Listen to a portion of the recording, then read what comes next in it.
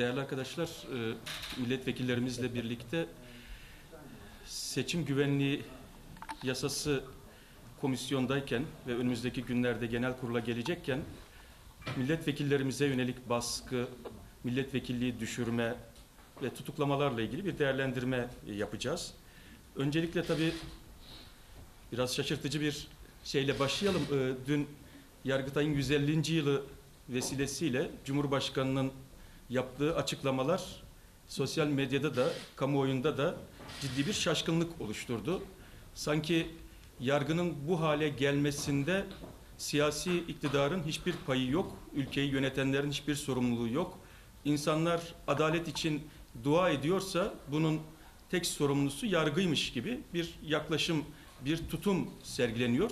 Elbette ki yargıyla ilgili eleştiriler önemlidir, değerlidir ama yargının bu halde olmasının sorumluluğu da sadece yargıya bırakılmayacak niteliktedir. Nitekim yeni ataması yapılacak, kura töreni yapılacak hakim ve savcılarla ilgili törenin ertelenme sebebi bile aslında yargının bu halde olmasında siyasetin payıyla ilgili, siyasetçilerin sorumluluğuyla ilgili çok net bir işaret ortaya koyuyor. Değerli arkadaşlar, geçtiğimiz hafta birisi grup başkan vekilimiz olmak üzere iki milletvekilimizin milletvekilliği düşürüldü. Tabi daha önceki milletvekilliği düşürülme gerekçeleri de kabul edilemez nitelikteydi. Demokrasi tarihine kara leke gibi düşecek nitelikteydi. Türkiye siyasi hayatında örneği olmayacak nitelikte düşürmelerdi. Yoklama gibi gerekçelerle. Ama özellikle son iki düşürme artık ifade özgürlüğünün toplum için olmadığı gibi milletvekilleri için de söz konusu olmadığını bir kez daha tescillemiş oldu. Bakın yargıyla siyasi iradenin eğilimi arasında bir kıyas yapmak açısından bunu özellikle ifade etme ihtiyacı hissediyoruz. Grup Başkan Vekilimiz Ahmet Yıldırım'ın vekilliğinin düşürülmesine neden olan, neden olarak gösterilen cümle padişah bozuntusu ifadesi bir başka davada Yargıtay tarafından nasıl değerlendirilmiş? Türkiye Komünist Partisi 2012 yılında bir etkinlikte aynen şöyle bir pankart açıyor. Padişah bozuntusuna bir çift sözümüz var. Ve bu ifadeyle ilgili yargılama gerçekleşiyor ve cezayı Yargıtay 18. dairesi bozuyor. Şimdi Yargıtay'ın bozma gerekçesi olarak görme nedeni çok açık, çok uzun ama bunu tabi burada paylaşmaya imkan yok. Fakat Ahmet Yıldırım'ın vekilliğinin düşürülmesi konusunda acele edilmesi, parlamentoda bir an önce okutma eğilimine girilmesi aslında yargının tutumuyla siyasetin tutumu arasında bir kıyas, bir karşılaştırma yapmak açısından son derece önemli. Değerli arkadaşlar, Muş'un iki milletvekilinden üç vekil var ama iki vekili partimizde birisi Ahmet Yıldırım'dı, diğeri de Burcu Çelik. Burcu Çelik cezaevinde İnsan Hakları Komisyon üyesi, grup başkan vekilimiz Ahmet Yıldırım da milletvekilliği düşürüldü. Yargıtay tarafından ifade özgürlüğü sayılacak, eleştiri hakkı sayılacak bir ifadeyi kullandığı için. Bir başka dava yine sadece yargının sorumluluğu üzerine odaklanılmaması gereken siyasetçinin yaklaşımına dair de önemli bir işaret teşkil eden bir başka dava Ardahan davası değerli arkadaşlar.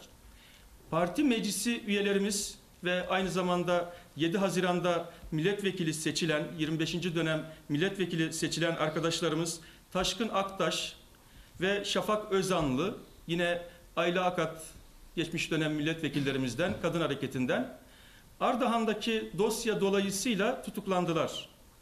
Ardahan'daki dosya belki kamuoyu yeterince hatırlamıyor olabilir. 2015 yılında Göle ile Şenkaya arasında bir sivil minibüs piknik alanına giderken güvenlik güçlerinin çatışma alanı olduğu gerekçesiyle ateş açması sonucu 70 yaşında bir sivil hayatını kaybetti değerli arkadaşlar. Bu 70 yaşındaki sivilin ölümüyle ilgili, Morkoç'un ölümüyle ilgili ciddi hiçbir yargılama süreci, soruşturma süreci işlemedi hala. Aylar boyunca o çatışmanın olduğu yer, operasyonun olduğu yer, çatışmada yok karşılıklı olarak. çatışma olduğu iddia edilen yere savcılar gitmediler. Güvenlik olmadığı nedeniyle gitmediler ve kimin alanına girdiğiyle ilgili tartışmayı tüketmedikleri için gitmediler. Ardahan Savcılığı Şenkaya'nın sorumluluğunda Erzurum'un gitmesi lazım dedi. Erzurum'daki savcılar hayır Ardahan'a ait bir yayladır, bölgedir dedi. Onlar da gitmedi. Yani olay yeri incelemesi bile aylar boyunca yapılmadı ama bu konuyla ilgili hayatını kaybeden 70 yaşındaki bir siville ilgili yaptıkları açıklamalardan dolayı cenazesine katıldıkları ve açıklama yaptıkları için iki 25. dönem milletvekilimiz ve Ayla Akat Ata parti meclis üyelerimiz aynı zamanda tutuklandılar.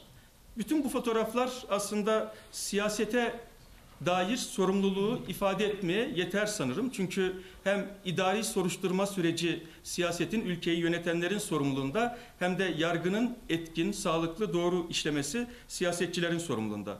Değerli arkadaşlar bir başka örnek belediyeler ve DBP eş genel başkanı ile ilgili. Yüze yakın belediyeye kayyum atandı. 60'ın üzerinde belediye eş başkanı tutuklandı ve şimdi de bu kadar belediyeyi kazanmış bir partinin DBP'nin eş genel başkanı ile ilgili çok ciddi bir işkence iddiası var ama ne Adalet Bakanlığı açıklama yapma ihtiyacı duyuyor ne iktidar partisi grubundan bir ses bir tepki çıkıyor. Değerli arkadaşlar bu iktidar ilk yıllarında işkenceye sıfır tolerans sloganıyla kendi meşruiyetini ve uluslararası kamuoyunda, iç kamuoyunda saygınlığını inşa etti. Şimdi bir partinin genel başkanı, eş genel başkanı çıplak aramaya karşı çıktığı için darp edilecek ve bayılana kadar bu işkence devam edecek. Sonra bırakıldığı koğuşta herkese aynı uygulamanın yapılmasına dair tepkileri öğrenecek. Ve bu olayın üzerinden geçen bunca süreye rağmen de hiçbir soruşturma süreci gerçekleşmeyecek ve adeta Kalkandere cezaevinin gardiyanları kendilerini bir partinin eş genel başkanına ders verme, onlara Türkiye gerçeğini öğretme hakkını, yetkisini kendisinde görecekler. Değerli arkadaşlar, ben orada gardiyanların kendisine söylediği sözleri burada tekrarlamak istemiyorum. Ama bir partinin eş genel başkanına reva görülen bu muamele aslında 27 Mayıs'ta Menderes'e bir askerin reva gördüğü muamelenin aynısıdır. Aynı zihniyettir. 27 Mayıs'taki zihniyet de siyasetçilerin nasıl rencide edileceğine, nasıl onurları kırılarak itibarları, saygınlıkları tüketileceğine dair çok utanç verici uygulamalara sahne olmuştur. Bugün de üzerinden geçen bunca süreye rağmen, yaklaşık 60 yıla rağmen Türkiye demokrasisi hala aynı noktadadır. Aynı çirkinlikler, aynı insanlık dışı onur kırıcı muameleler siyasetçilere reva görülmektedir. Değerli arkadaşlar, bu üç konuyu sizlerle tabii özellikle paylaşma ihtiyacı hissettik. Çünkü bu konular bizim açımızdan aslında seçim güvenliği meselesiyle doğrudan ilgili, doğrudan ilişkili konular. Ve seçim güvenliğiyle ilgili yürütülecek bir işte kampanyanın ya da geçirilecek bir paketin, bir yeni düzenlemenin meşruiyeti gerçekten seçim güvenliğiyle ilgili olup olmaması aslında seçmen iradesine saygı duymayla doğrudan ilişkilidir. Eğer siz mevcut seçilmişlerin iradesini tanımıyorsanız, onlara oy veren şehirleri yok sayıyorsanız, onlara oy verip sahip çıkan seçmeni cezalandırmayı normal görüyorsanız, o zaman söylediğinizin yaptığınızla hiçbir alakası, hiçbir bağlantısı kalmamıştır.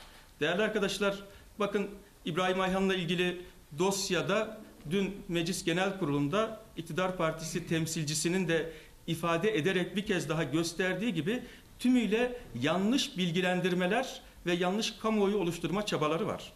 Dün Ceylanpınar'daki polislerin ölümüyle ilgili araştırma komisyonu kurulmasına dair önerimizle ilgili konuşan iktidar partisi temsilcisi Dersim'deki bir çatışmayı delil olarak, gerekçe olarak gösterdi ve İbrahim Ayhan'ın milletvekilliğinin düşürülmesine neden olan davanın konusunun bu olduğunu söyledi. Böyle bir şey yok değerli arkadaşlar. Bu tamamen kamuoyunun yanıltılmasıdır. İbrahim Ayhan'ın paylaştığı tweette ismi geçen kişi Kobani'de IŞİD'le çarpışırken, IŞİD'le çatışma içerisindeyken hayatını kaybetmiştir. Dolayısıyla hem kamuoyunu yanıltmak hem de siyasetçilerin e, siyaset yapma hakkının milletvekili imkanının bu kadar kolay, bu kadar keyfi tüketilmesinin meşrulaştırılma çabasıdır ki bu en az yargı kadar siyasetçinin de sorumluluğundadır. Değerli arkadaşlar tıpkı işkenceye sıfır tolerans söylemiş gibi Erdoğan'ın ilk yıllarda meşhur bir söylemi vardı. Seçilmişleri atanmışlara yedirmeyeceğiz diyordu Cumhurbaşkanı.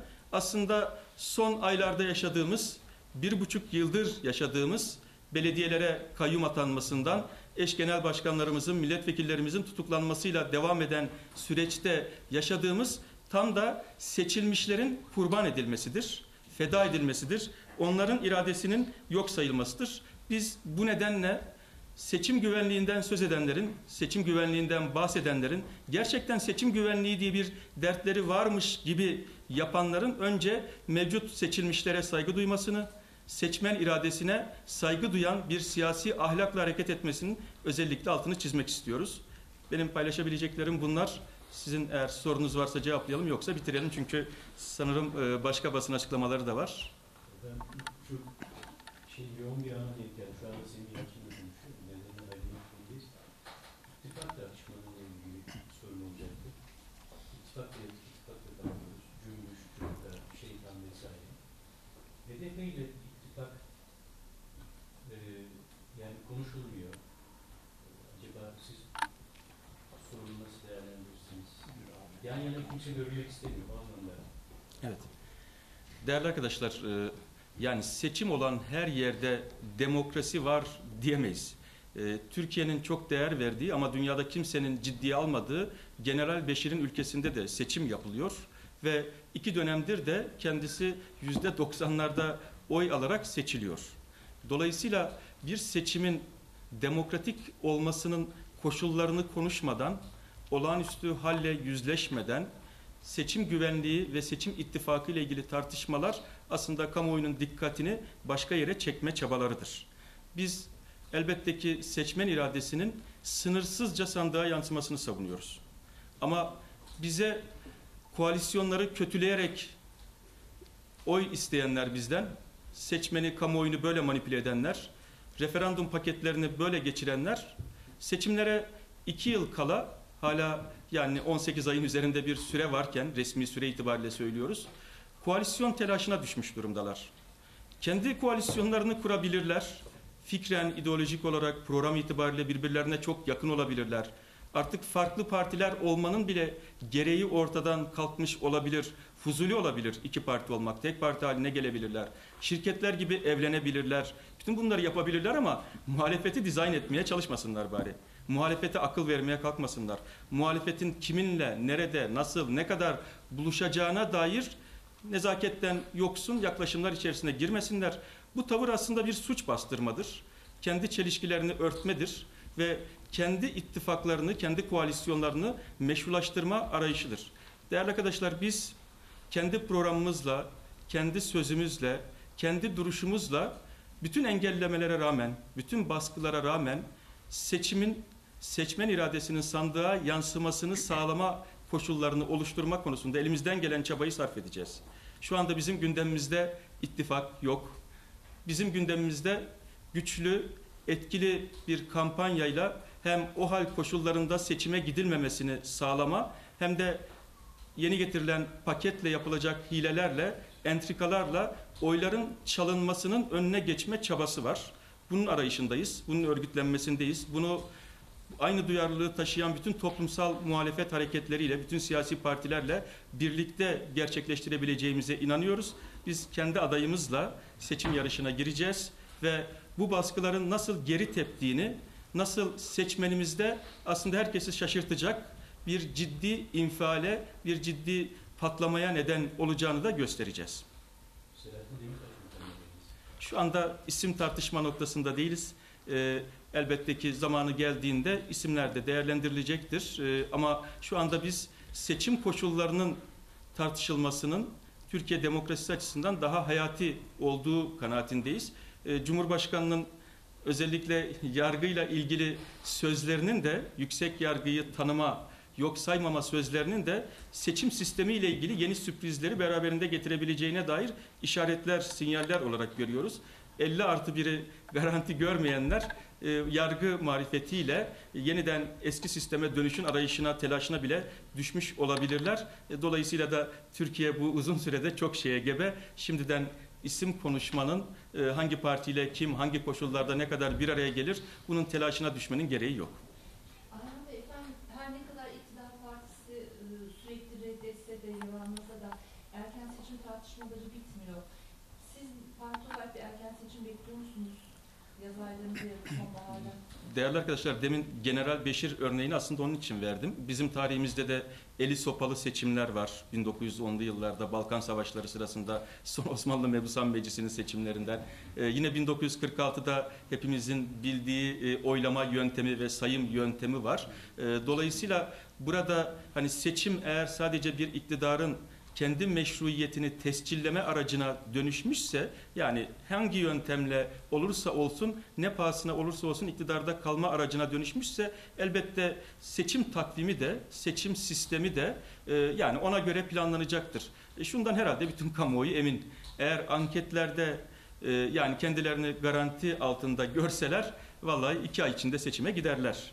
Ama bunu görmedikleri, böyle bir ihtimalin olmadığı, aldıkları sinyallerin tam tersine çok ciddi bir rahatsızlık içerdiği, AKP'nin kendi içerisinde bile hem Suriye politikası hem şeker fabrikaları hangi konuya değinirseniz değinin e, çok ciddi bir tepki olduğunu gösteriyor.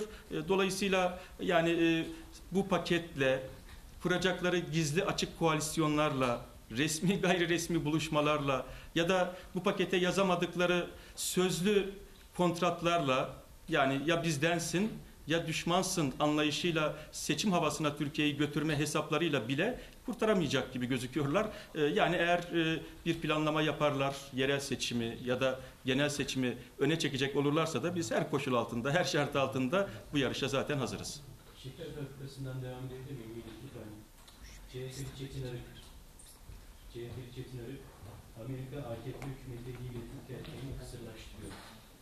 Böyle bir genel kurulu böyle konuşma yapmış ama Değerli arkadaşlar, e, yani bu konuda e, hem şeker alanında çalışan sendikalar e, hem ziraat odaları aslında çok net mesajlar veriyorlar. Bunun içinde aslında bir beklenti oluştu ve Cumhurbaşkanının rolü pozisyonu açısından yeni bir tartışma başladı biliyorsunuz. Cumhurbaşkanının bu olaya müdahale ederek kendisinden habersiz alınan bu kararın tepkisini de yine e, başka bir siyasi ranta çevireceği iddiası beklentisi ortaya atıldı. Her ne kadar iktidar sözcüsü bunu reddetmiş olsa da. E, Değerli arkadaşlar bazı şehirler var ki o şehirlerde tek tüten baca şeker fabrikaları. Yani Kars'ta daha önce et balık kurumu kapatıldı. Sonra ya özelleştirildi, düzeltiyorum. Özelleştirildikten sonra kapandı. Ee, ayakkabı fabrikası aynı muameleye maruz kaldı ve şu anda sadece şeker fabrikası var. Her ne kadar kapatılacak fabrikalar içerisinde sayılmasa da oradaki herkes biliyor ki bir süre sonra şimdi şeker pancarı ekimi durduruluyor. Ziraat odaları aracı yapılarak il tarım müdürleri kullanılarak mısır ekimi teşvik ediliyor. Yani hangi lobi için çalışıldığı, kimin rantının, hangi uluslararası türeslerin çıkarının gözetildiği çok açık. Pancar üreticisinin çıkarının gözetilmediği, şeker fabrikalarında çalışan işçilerin çıkarlarının gözetilmediği ve aslında o şehirlerdeki küçük esnafı da ayakta tutan e, neredeyse e, yani tek maaşlı e, pozisyondaki insanların e, sayesinde e, belki ekonomik çarkın döndüğü, şehirlerin düşenil- düşülmediği çok açık. Bizim heyetlerimiz de e, yani Muş ve Elbistan fabrikalarını ziyarete gidecekler, değerlendirmelerini yapacaklar e, ve kamuoyuyla bunu mutlaka paylaşacaklar. E, Yani ister sizin sorunuzda ifade ettiğiniz hesaplar içerisine girilsin, isterse yıllar önce e, yani Kargel ile ilgili tröstlere yapılan taahhütler dolayısıyla bu tercih yapılmış olsun. Ne olursa olsun bu hem insan sağlığıyla oynamaktır hem bir ülkenin ekmeğiyle, alın teriyle oynamaktır. Peki teşekkür ediyoruz arkadaşlar sağ olun.